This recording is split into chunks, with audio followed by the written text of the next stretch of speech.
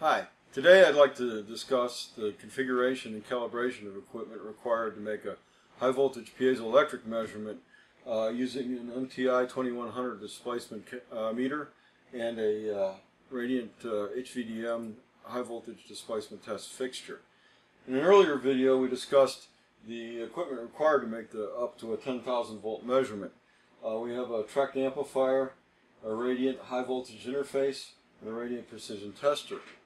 Today we're adding to that the uh, MTI 2100 displacement meter and the Radiant HVDM high voltage test fixture. To begin with, I'd like to take a tour of the uh, Radiant HVDM, the high voltage displacement test fixture. Starting with the bottom half, the test fixture has a fixed copper electrode that engages a connector that takes a voltage signal from the tester drive output and applies it to the bottom electrode of the sample. The bottom reservoir can be filled with a mineral oil or other fine oil to uh, prevent arcing through air around the sample depending on the voltage. The top half of the fixture has another copper electrode. This one is free to move. Um, being free to move, it will allow for samples of a variety of thicknesses. It also uh, will detect sample displacement and, well, reflect the sample displacement in its motion. Um, if I insert the sample, close the test fixture, sample is now sandwiched between the two electrodes, and we're ready to make a high voltage measurement. in order to make a displacement measurement, I'm going to pass an MTI uh, test wand through a stability arm and through the center of the test fixture so that it is uh, over the top electrode and reflecting off the top electrode and will uh, detect the measurement. For larger diameter uh, test wands, they're held in place with a set screw. It's a 1 16th hex screw um, adjusted with a 1 16th hex wrench provided with the delivery of the system. For narrower test wands, such as the one that we're going to be demonstrating today, a friction sleeve is placed in the hole and it will hold the test wand in place. The stability arm is attached to a micrometer post that uh, is uh, also locked with a um, hex, uh, 1 16th hex screw. The micrometer is used to adjust, make fine adjustment on the on the uh, position of the of the detector uh, after the it's been adjusted in a coarse fashion simply by inserting it. Once the position is in place, any any lateral play in the in the stability arm and the setting on the micrometer can be locked in place with a locking ring at the head of the micrometer. Okay, to begin calibration, the first thing you need to do is establish a linear relationship between the displacement that the MTI is going to detect and the 0 to 10 volt output that it's going to send into the tester sensor port. The calibration numbers I'm looking for are on the side of the plug-in. Pull the plug-in out. Now you'll notice there are two plug-in ports allowing two plug-ins, different plugins, um, each representing a channel on the on the uh, uh, MTI. The left plug-in is channel 1. On the side of the plug-in is a label that will give me this, the uh, scaling terms that I need. In this case, it is 0.01583 microns per millivolt. Convert those to any units I need.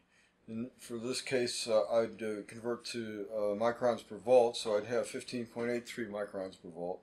And that's the term I would enter into the Vision software. So, in Vision, I'm going to find piezo in the task library under Hardware, measurement, piezo. I'm going to take the advanced piezo task,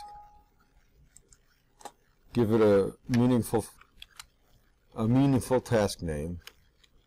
Uh,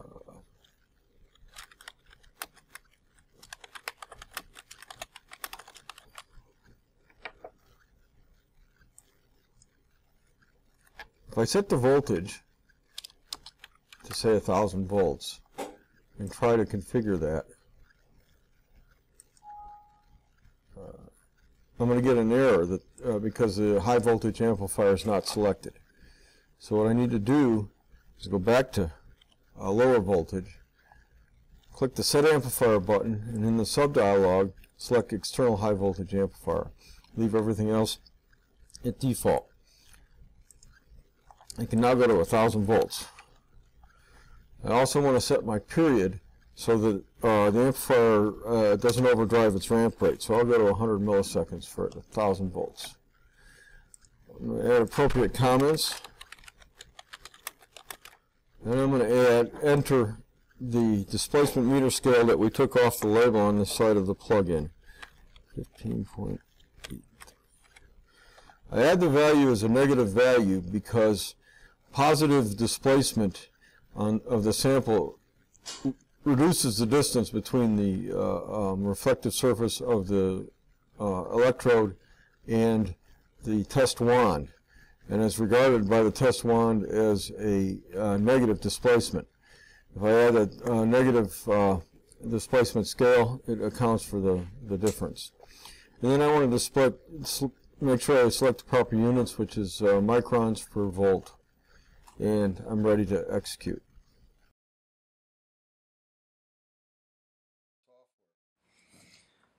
reinsert the plug in. Make sure it's firmly seated. Turn on the MTI unit. Allow it to go through its startup procedures. Once the MTI has completed its startup procedures, it'll begin displaying numbers at its its uh, its um, LCD. Uh, now, all MTI plugins operate in two ranges. Range 2 is a coarse range for large-scale displacements that isn't really appropriate for our measurements. Range 1 is 10 times more precise, and so we want to operate in range 1. In order to switch ranges, there's a range select button that you simply press. Make sure that we're on range 1. It's also important to have uh, the high-pass filter set to DC in all cases. And for this measurement, I would set the low-pass filter to wideband. Finally, um, I would select uh, the uh, mode of, uh, put the mode switch into the cal position. Okay, to begin uh, physical setup, I'm going to take the high voltage drive signal from the MTI into the lower connector of the HVDM, the test truck. Uh, and that's a voltage signal that will stimulate the, the bottom electrode of the sample. Take the upper connector of the HVDM from the upper electrode of the sample into the HV return port of the HVI. The MTI test wand, first I'm going to connect its cable to the strain relief to reduce a little bit of the weight on the cable and insert the test wand into the friction sleeve and continue to insert watching the front panel of the MTI until I begin to see a signal and I get it to a coarse maximum.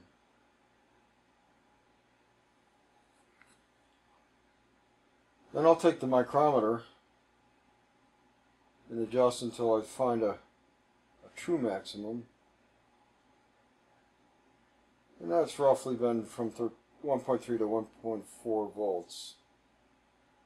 Once I'm at the maximum, I'll lock using the lock ring at the head of the micrometer.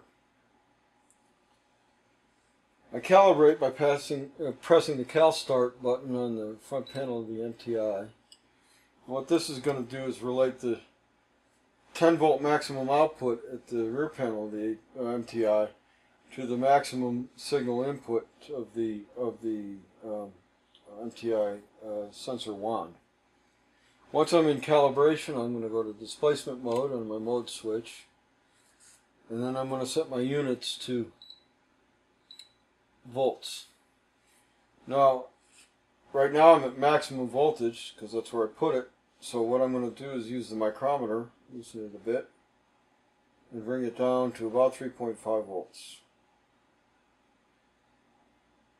Once I'm at 3.5 volts, I'll lock the lock ring.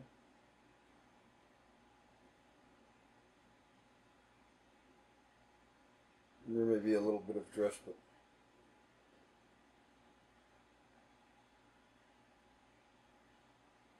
the actual number here doesn't matter so much. Um, what's important is that we establish a voltage that's a, a zero reference for our displacement. And uh, um, the MTI manual will actually tell you to take it to zero volts. But we're actually interested in having uh, some voltage overhead in both directions from the center voltage uh, because we're going to be applying a, a bipolar uh, voltage uh, waveform to the sample and it's going to displace in both directions. So we want to be able to detect both uh, uh, displacement in both directions. Um, once I'm at the set point, I lock the lock ring and I'm ready to make my measurement.